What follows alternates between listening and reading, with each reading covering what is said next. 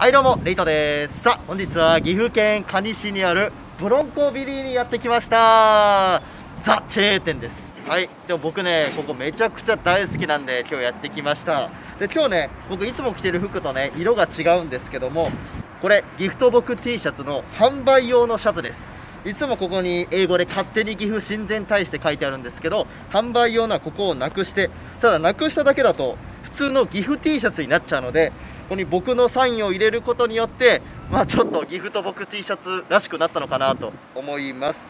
はいということでぜひね気になる方販売ページ概要欄に貼っておりますので覗いてみてください。では早速ブロンコビリ行ってきましょう。レッツゴー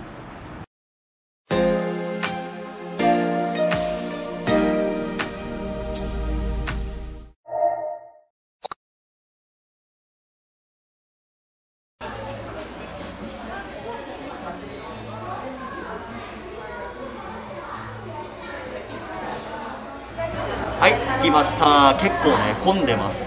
僕ねこのブロンコビリーの好きなところランチタイムはねだいたい1000円ぐらいでサラダバーと美味しいハンバーグとかお肉が食べれるんですよ。なんで今日もですねこれ超粗挽きハンバーグのランチセットにします。1100円だね。税込みで1210円。でもねこの1200円ぐらいでサラダバーもついてくるんでめちゃくちゃお得ですよね。なんでこれを頼みます。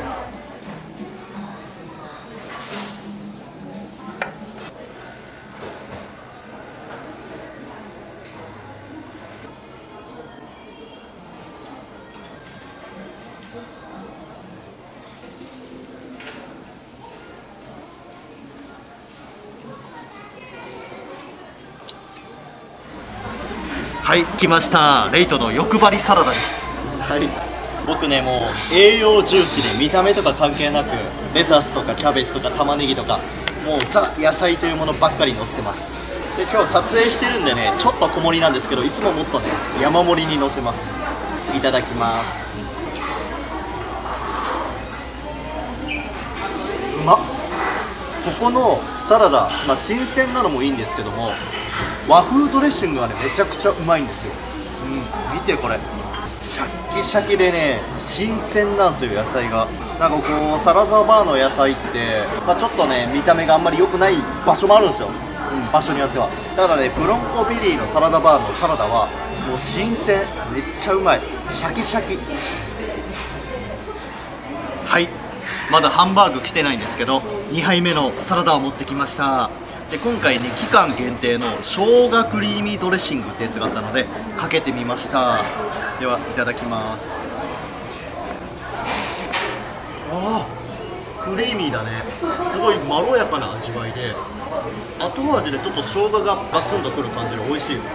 あいいね。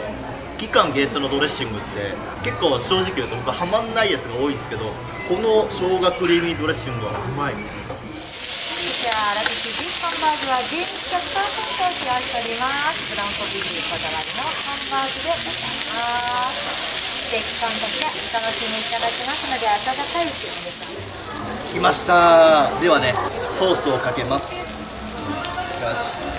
じゃあこっちの手前のやつにね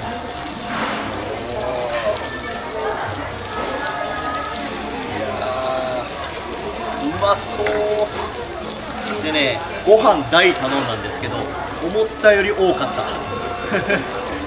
いいね。たくさん食べる方もいいですねこれは。いただきます。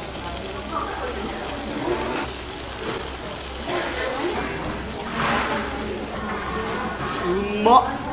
う口に入れた瞬間肉汁がジュワーっときてガツンとね素材の味がくる。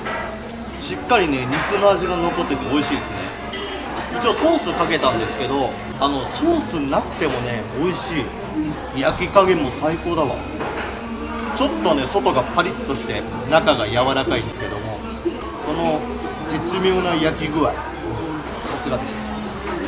次店員さんにおすすめされたこのお塩につけてねいただきます。こちら。いただきます。あ個人的に塩の方が好き。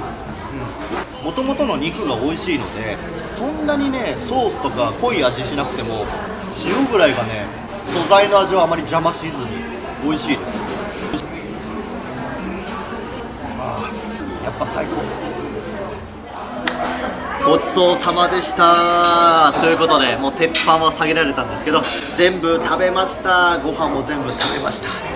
ということで終わりじゃないです。追いサラダしました。じゃーん。僕ねいつもハンバーグ食べ終わった後はねまた最後の一サラダをいただいてね締めるんですよ。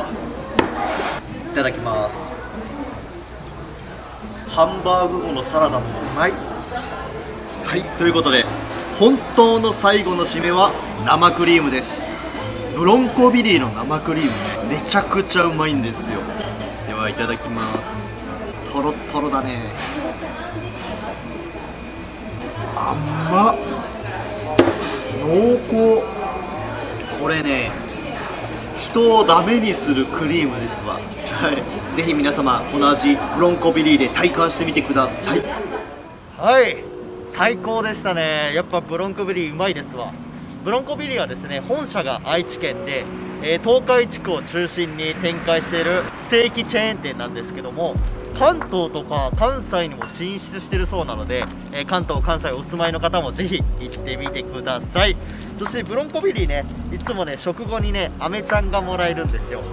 これね梅味で、えーブロンコビリー独自が作っている飴で結構うまいんですよ。えーまたこの食後に食べるこの飴もね、えー楽しみの一つです。じゃあ後で食べます。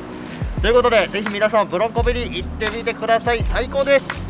僕のチャンネルはこのようにグルメそして岐阜のスポットを紹介しております。定期更新をしておりますのでぜひチャンネル登録よろしくお願いします。では皆様また次の動画でお会いしましょう。またね